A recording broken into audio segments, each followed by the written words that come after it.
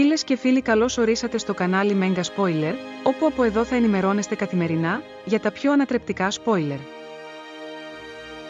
Ο Πότης υπό την πίεση του Λικούργου ομολογεί τις επαφές που είχε με τους νονούς της νύχτας και πώς εξακολουθεί να τους πληρώνει για την προστασία του μαγαζιού του.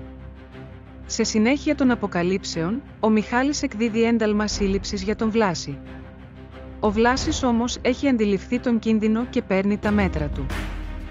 Η Αντιγόνη συμβουλεύει τον Μάνο να πάει τη Μαρίνα για μαγνητική εγκεφάλου, ώστε να διερευνήσουν κάθε πιθανή αιτία για το πρόβλημά της, ενώ η Μυρτάλη συμπαραστέκεται στη φίλη της με αγάπη και ενδιαφέρον. Η Βασιλική επιστρέφει στο σπίτι μαζί με τον Φίλιππο. Ο Λικούργος ενημερώνει τον Χρήστο πως σύντομα τα βάσανά του θα τελειώσουν. Παράλληλα, προειδοποιεί τον Κωνσταντίνο για τις απειλές που δέχεται από τους μπράβους και του ζητά να προσέχει την Ισμήνη και την εγγονή του, καθώς νιώθει πως ετοιμάζονται αντίπεινα.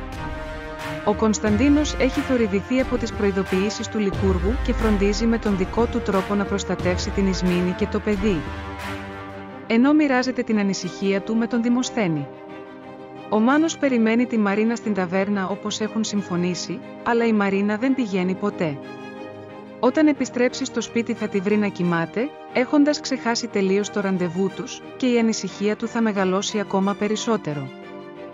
Ο Κωνσταντίνος προσπαθώντας να δώσει μια λύση ειδοποιεί ανώνυμα την αστυνομία για το που κρύβεται ο Βλάσης, και η Δήμητρα με ένταλμα εισαγγελέα πηγαίνει να τον συλλάβει.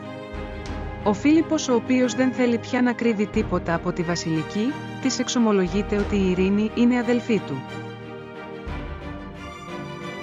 Εάν μας βλέπετε για πρώτη φορά, έχετε την δυνατότητα να κάνετε μια δωρεάν εγγραφή, να ενεργοποιήσετε και το καμπανάκι, για να λαμβάνετε ειδοποιήσεις για τα νέα βίντεό μας.